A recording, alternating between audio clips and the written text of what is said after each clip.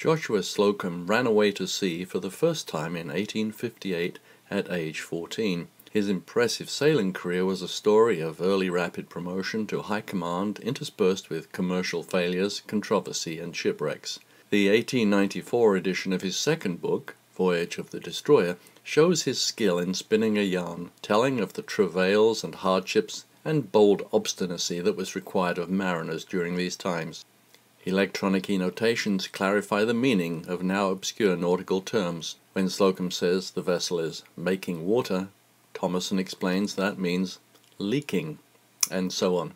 Having travelled the globe, he had friends in many countries and some enemies. In Brazil, he had crossed swords with Admiral Custodio de Melo, and in 1894 he jumped at the opportunity for revenge by transporting an aging, barely seaworthy American destroyer to Brazil to upset the balance of power.